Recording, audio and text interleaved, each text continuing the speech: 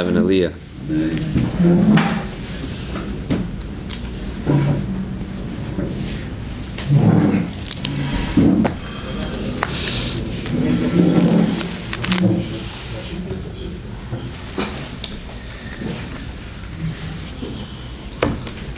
There's much discussion, Parshas Toldos, about the mechira that took place between Yaakov and Esav in terms of the mechira of the Bechor, mechira of the rights of a firstborn.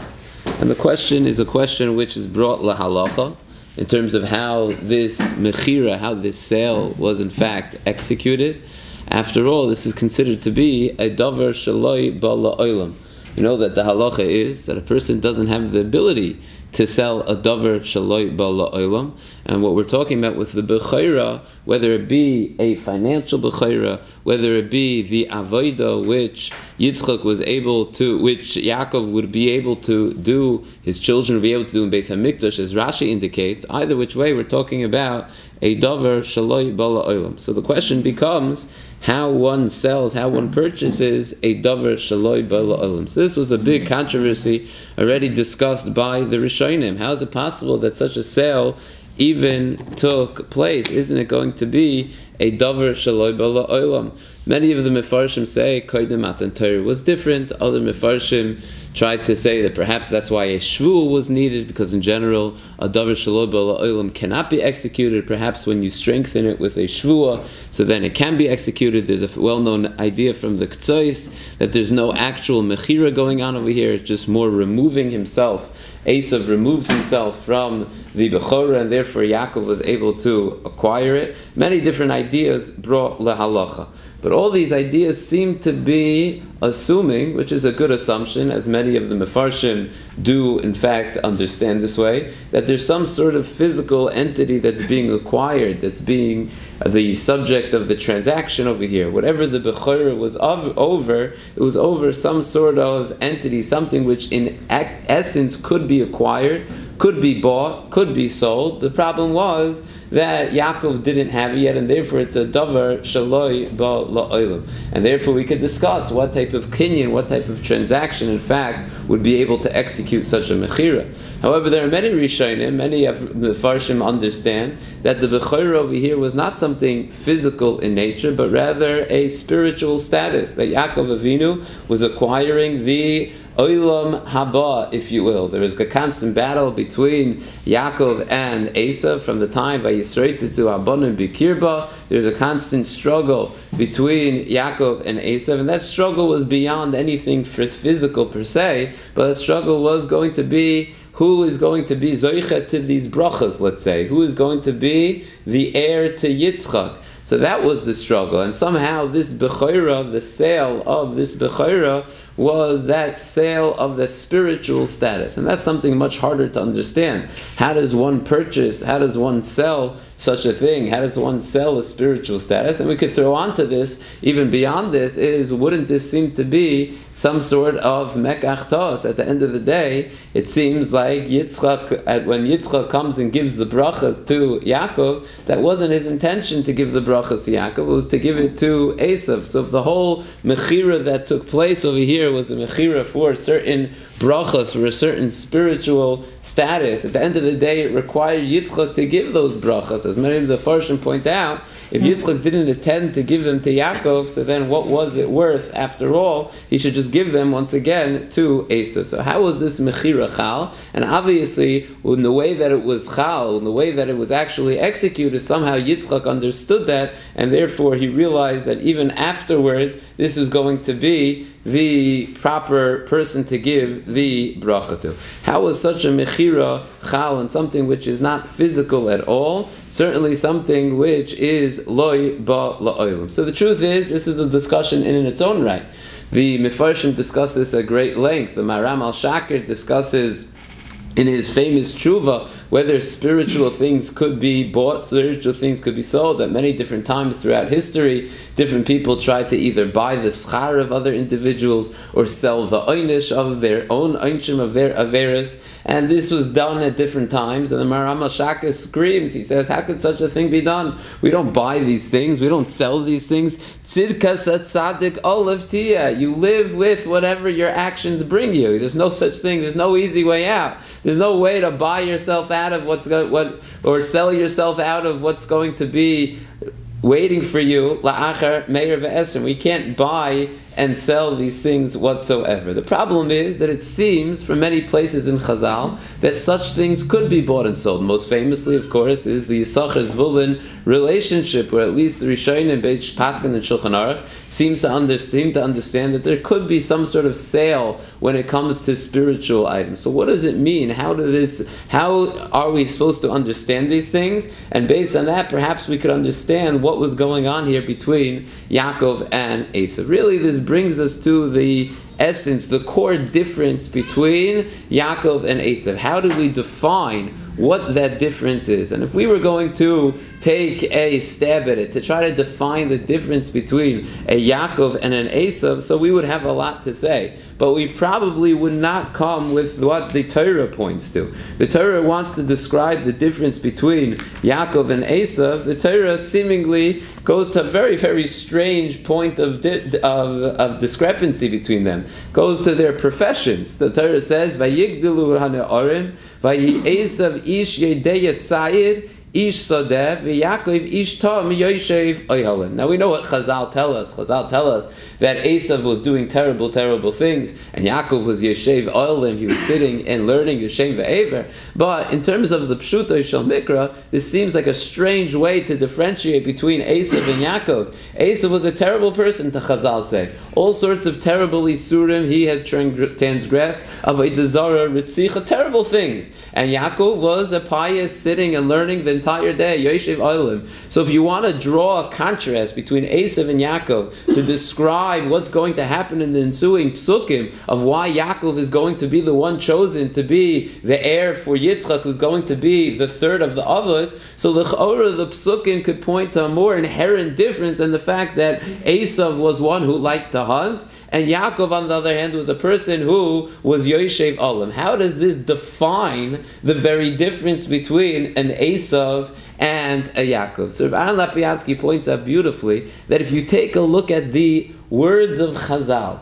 exactly the Isurim that Esav was accused or Esav had transgressed, so you see that Chazal, while it seems that they're throwing the book at him and just saying everything terrible that could they could come that could come to mind, they're very specific. What do Chazal say? Esav had transgressed.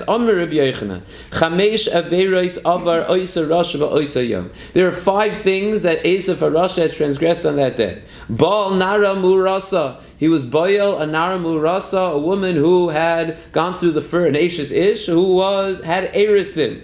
V'horages nefesh. He murdered. V'koffer be'ikr. He was kofer be'ikr in the Rebbeinu Shalom. V'koffer be'tchias amesim. He denied tchias amesim. V'shot es ha'bechayra. And he was mevaza v'yivez esav es ha'bechayra. Says Rabbi Lopiansky, what is the common thread over here? Right? If you want to say that Esav's a terrible guy, so say that Esav's a terrible guy. What do we have over here? Who's boyal anara murasa? Say he was over Eshesish, gilei raya, shvichus dam, and zara. He was boyal nara he was koifer be'ikr. If he was koifer be'ikr, doesn't that mean by definition that he was koifer be'tchias hamesim? So he was koifer be'ikr, koifer be'tchias hamesim, shata b'chayra, being mevazal b'chayra seems to be the least of the problems over here. He was a person who was goyel, goyel, uh, uh, gilui arayis. He was over avodah zara, shvichas damen. Oh, he was also mevazas a b'chayra. What are Chazal trying to tell us over here? And he explains as follows: What is the difference between an Esav and a Yaakov. The difference, the core difference, the essential nekudas hachiluk between an Esav and Yaakov comes down to one thing. That Esav is mevakish oilam hazeh and Yaakov is mevakish oilam haba. Now, to us, on a very superficial level, what that means is that Esav was into this world and Yaakov was into the next world. But at its core, inherently, what that means is why was Esav into this world? What it means is that Esav was unable to see beyond. Esav was unable to see beyond the surface. Esav was superficial.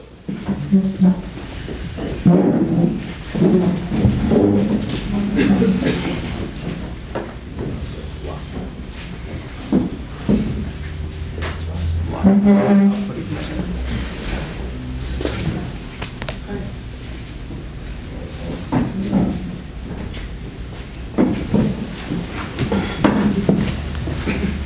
Esav was superficial. Esav was not able to see beyond the surface of anything. And therefore, if he saw was Oilam Hazeh, if that's all he sees, so then he's not able to see beyond that there's something deeper, there's something, there's a bigger picture, there's something beyond this. This means more than just Oilam Hazeh.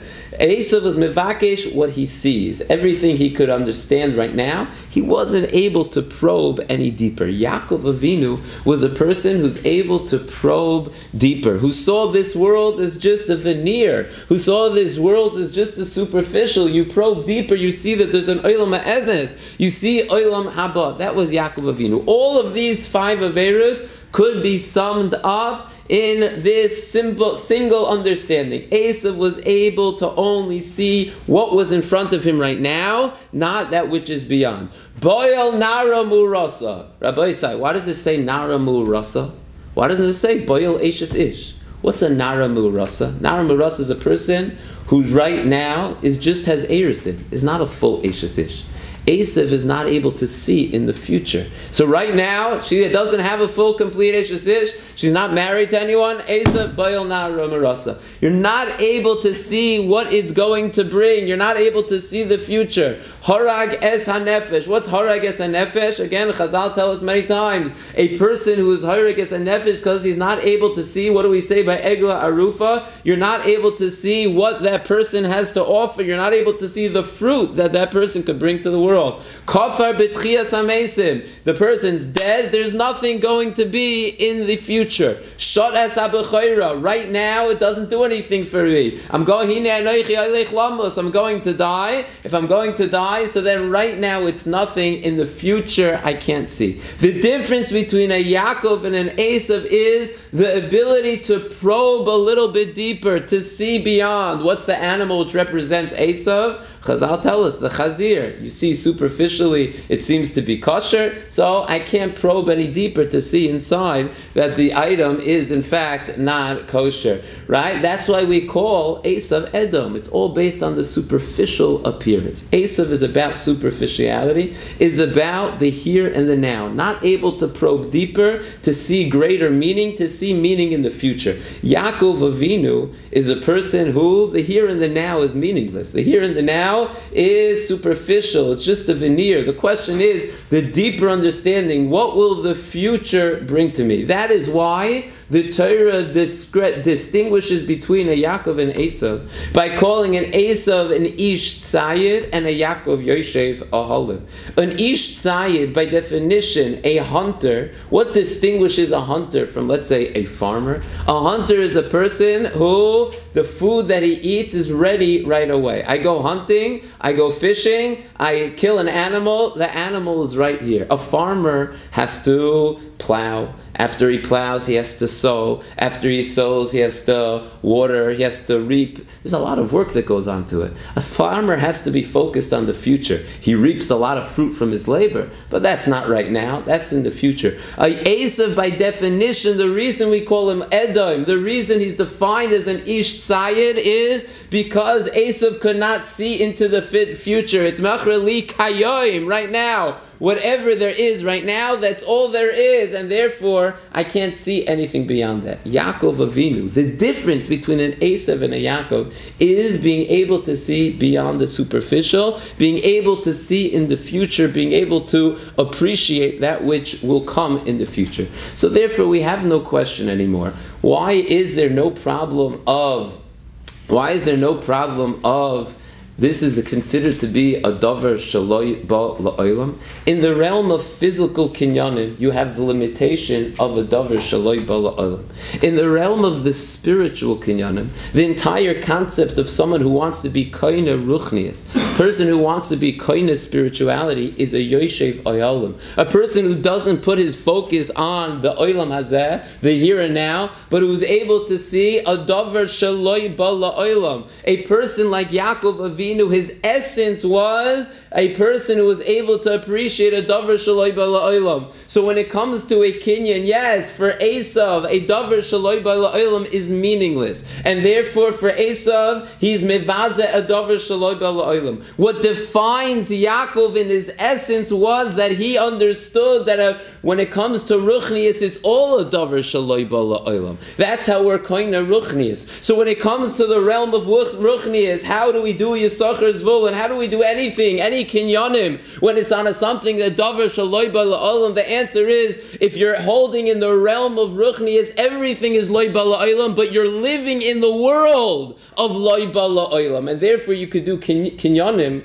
which are loy ba'la'olam. Yaakov Avinu was living in that world. It wasn't a davar shaloi ba'la'olam. For Esav, it was very much a davar shaloi ba'la'olam. The question is what world you put yourself in. In fact, Reb Chaim Shmulevitz has a very, very insightful, very powerful shmooze on this topic, and Rechaim Shmulevitz understands. He says, "How in the world could we repay a person for mitzvahs in this world, and how could we give an einish, the Rebbeinu give an einish to a person for mitzvahs and for averus in this world? It goes well beyond this world. We know that the schar for a mitzvah is nitzchias, and the einish for averus also. So how does that, uh, we ever understand that there's a certain schar given in this world or a certain einish given in this world? Says Rechaim Shmulevitz because the niddi, the schar that a person gets is based on a person's ability to be machshav, how much a person values, how much a person is marich that item.